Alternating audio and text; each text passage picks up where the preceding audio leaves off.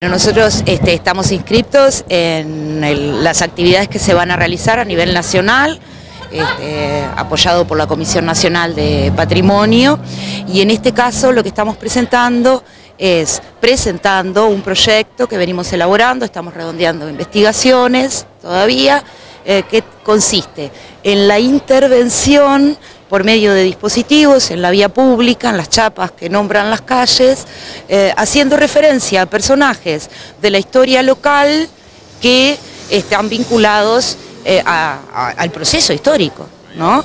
Este, y que consideramos que debido al uso cotidiano que hacemos de esos nombres, bien, este, se va perdiendo un poco el sentido simbólico que tienen y la idea es esa, rescatar los sentidos simbólicos, promover también, porque hay calles de libertad que todavía no tienen nombre, entonces promover desde el colectivo la apropiación de esos espacios simbólicos en los que se transforman las calles y espacios conmemorativos en los que se transforman las calles cuando son designadas por un nombre. ¿no? Entonces este, la idea es que estos dispositivos nos permitan hacer un recorrido por los procesos históricos locales y referenciarnos también, ¿no? porque son este, formas de eh, seleccionar del pasado elementos que forman parte de nuestra identidad. En muchos de esos nombres este, nosotros podemos hacer un recorrido desde los procesos fundacionales de la ciudad, con Carlos Clausoles, hasta procesos bastante interesantes de designación de calles que se han hecho en los últimos años, que van desde el 91 al 2004, que son las últimas designaciones. ¿no?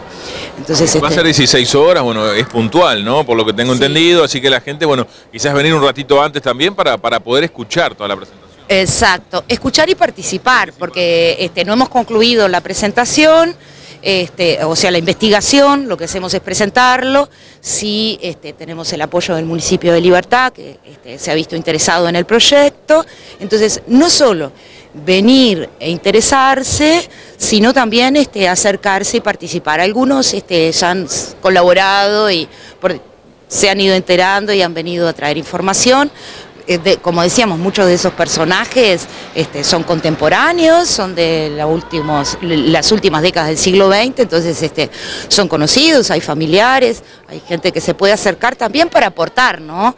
Este, se entiende que además de la presentación del proyecto, es una convocatoria colectiva para participar, para integrarse, está abierta a la comunidad.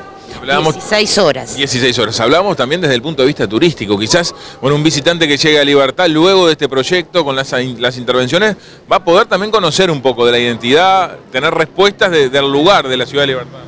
Sí, tal cual, este, porque eh, podría acercarse a todo el proceso, ¿no? incluso lo urbanístico, eh, porque nosotros tenemos que, a medida que se ha ido desarrollando la ciudad, ¿no? Este, también se han ido fundando barrios nuevos, se han ido generando y ahí se han ido también designando. Entonces, abarca, es un aspecto importante, todos los barrios de la ciudad. Y un turista podría perfectamente este, tener ese plus de una especie de recorrido histórico por la ciudad o de itinerario histórico-cultural por la ciudad. Que un dato que recién yo no mencionaba es que también este, pretendemos que en esas intervenciones esté el rescate de los nombres que tuvieron anteriormente en las calles, ¿no? Porque se han ido resignificando, se han ido renombrando, ¿bien? Este, y por ejemplo la curiosidad de los nombres este, fundacionales que tenían estas calles, de meses del año, y que eso está este, olvidado, pero que en su momento también formó parte de lo que era el colectivo inicial de la ciudad. Entonces sí, claro, podría ser eh, desde los dos aspectos, ¿no? Desde el aspecto local, de la reafirmación de la identidad local y de la apropiación, ¿no? Desde lo local para este, mostrarnos a los visitantes, claro que sí. ¿Qué idea tienen de cómo hacer las intervenciones? ¿Con, algún tipo de cartelería? Sí, serían dispositivos, ¿no? Este, estamos en, etapa de investigación, la idea inicial previa es eso, dispositivos que este, unidos a los este, carteles de las calles o a los este, soportes que tienen las calles, eh, darían una información breve pero sustanciosa como para este, realizar ese rescate, ¿no? Algún dato biográfico, pero a ese dato biográfico también este, incluir eh, aquellos aspectos que rescatamos de valores o acciones, porque están contenidas esas también, ¿no? Este, están, en, en esos nombres están contenidos valores o acciones de esos este, protagonistas históricos en los que nosotros hoy como comunidad nos sentimos representados, ¿no? Y por eso los rescatamos.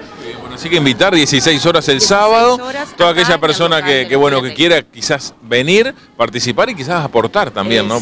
exacto, ambas dos cosas acá en el local de la Escuela Técnica Libertad. Es un proyecto que presentan los alumnos de tercer año de turismo, específicamente, este, aunque los alumnos de segundo eh, tomarán la posta ¿no? de la investigación, porque tercero ya está egresando este año, este, y lo que nos quede por concluir, segundo tomará la posta el año que viene, ¿no?